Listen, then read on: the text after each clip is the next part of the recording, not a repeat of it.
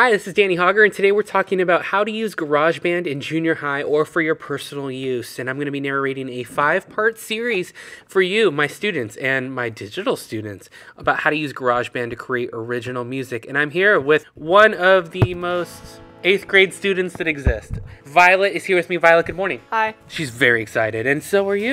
So, look through this document. This is my guide, and along the way, I'm going to describe step in text, but also with this screen capture so you know exactly what I'm talking about. Using GarageBand, we're going to write an original composition and mix your own audio file over five weeks. This is lesson one, getting started. Next week, we'll talk about drumming and how to use the digital drummers to create template that keep the beat for your original song. Today, we talk about the digital audio workstation, musical typing, and how to add and remove tracks to set up your workspace. The first thing you need to do today, feel free to pause this video as needed and then continue, is open up GarageBand.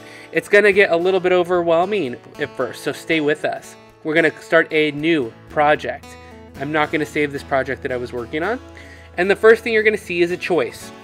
Violet, you'll see you've got lots of different selections on the screen. You could start a keyboard collection, an amp collection, a songwriter, or an electronic, and some other options as well. Which version do you think would be best for someone who's just starting out? Um, maybe a keyboard collection because it might be a little overwhelming for like if you have everything at first. All right, and since we are doing drumming in week two, let's look at keyboards today and just kind of look at how the program works and how the workstation is set up. So what I want you to do is click keyboard collection and click choose. That's going to open a brand new session for you and today we're going to go over how to use the musical keyboard, how to set up your workstation and save your project. That's a really great idea and that'll be I think the simplest way to start. So it's going to take a few moments and you'll notice now that you've launched into the screen. You've got a lot to look at here, right? There's a lot in mm-hmm. going on. The first thing I suggest is maximizing your workstation by clicking on the top left the plus button or the green button on your screen and give yourself a full screen to work with. Now you've got more area to work. Um, what else do you see? What are the first impressions as you look at the screen? I see a bunch of little circles which I think are like little volume buttons and like so I was thinking so you can like amplify amplify what you work on. Right. So Violet was first drawn to the control scheme, which is similar to like an amp head, where you control the individual settings, the effects, the dynamics, and the tone of different instruments. And what do you see up here kind of in the middle of the screen? Um, a bunch of different like set settings of keyboards and pianos. Perfect. And we're going to use lots of those. And you can choose as we go along which you want to use and which you don't. To delete a track, let's say you didn't want the classic electric piano, all you need to do is click on it with your mouse and hit the delete key on your keyboard. That track is now gone. If you wanted to add a track, you could hit the plus button here and bring in lots of tracks. And what question you might have is, well, how do I know if I want to use it or not? Well, let's sample them.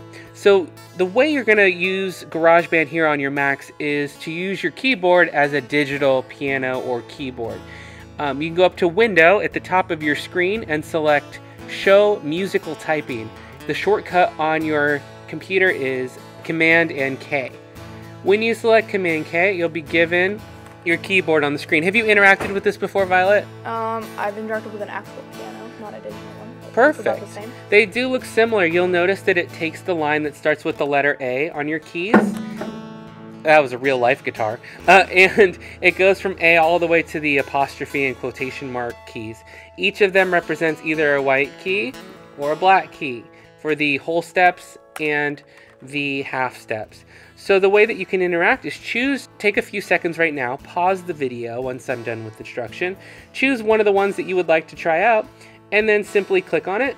You'll notice it changes in the library preview, and either type or click and just sample the sounds, try a few keys, maybe try to play a little melody to like Mary had a little lamb or something, and we'll rejoin you in just a minute. Uh, so now that you know how to use some basic musical keys, we could show you how to record some of those keys. Let's say I wanted to record the Steinway grand piano. I'm going to select it, then I'm going to hit the record button. It's going to do a four count, and it's currently set to 120 beats per minute. I'm going to leave that standard right now because we're just experimenting and learning how to use these tools. And then I'm going to hit a few keys, and then I'm going to hit the stop button. So it's now recording, note, note, note, beautiful music, note, note, note. Spacebar will stop it or you could click stop at the top of the screen.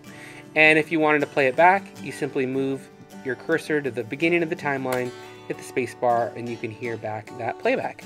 So pretty awesome. Let's say I didn't like it. I click on the top of Steinway Grand Piano, hit the delete key and it's gone. If you ever make a mistake and want it back, use Command Z, the undo button, and it's back again.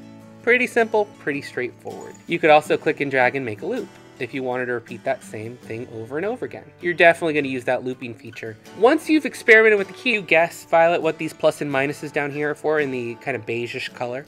If you want to raise the volume. Good question. Uh, good guess. Your volume keys are on your keyboard in the top left near the delete, top right, I should say. But the octave button is great because maybe you like the piano, but what you want is something really high pitched or really low pitched. Your X is going to raise your pitch, and you'll know where you are on the keyboard because of this blue bar right here.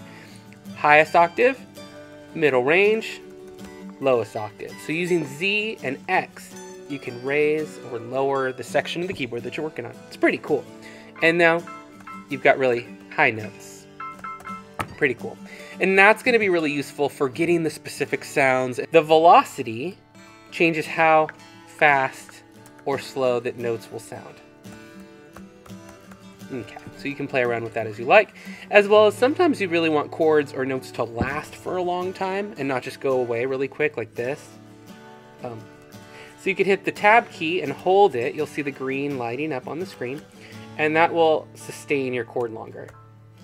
And you'll hear that it's just staying around and it lasts. So those are some quick notes on how to use musical typing. What else do you think is um, anything else stand out to you, or do you have questions at this point?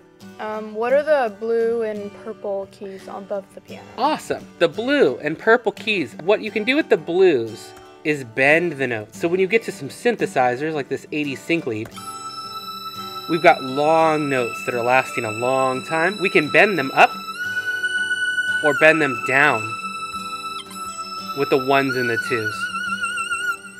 And that's just cool to kind of play around with, especially when you're doing solos and things. Mm-hmm. Anything else stand out to you or you're wondering about? No, not really. Okay. Seems so this is a good chance to practice. I'm going to pause the video here. You can pause it as well. Take a minute or two, just play around with some notes. Maybe try recording a few tracks on some of the different keys that are on the screen. Blend them together and see how they sound. Try recording a few things, then delete them all when you're done and we'll continue the video. So now after you've experimented with some different tones and keyboards, you'll notice in the library section of the screen, there's many more options like guitar and orchestral sounds and mallets and all kinds. If you wanted to drag something in, just click and drag. And now you should have a marimba there. And all the same musical typing applies, the same keys, the same notes which is really nice when you go to arrange your song because it's easy to know if you've played those notes before. You'll write some notes to yourself on which chords you're using. And so try taking now a few minutes, in fact, and enjoy like browsing around and just trying out. This is totally exploring right now. Try out some instruments that you think you might want to use in your song. Once you're done with that, I'm going to post uh, some some notes that are popular melodies so you can try playing some songs on the keyboard today. Like Mary Had a Little Lamb, I will type and show you the letters and overlay them on the screen. Try playing a few songs in different instruments and see how they sound. Next week, when we get together, we're going to start building your drummer and let you know how to build your rhythm and template for the song. Violet, anything else for today? Uh, nope, that's it. You did a pretty rocking job. Nice work. Yeah. All right. Well, this is Mr. Haugers. We see you on the next edition. Tune in for week two, where we build your beat and begin placing the backbone and fundamentals of your song. Thanks for watching.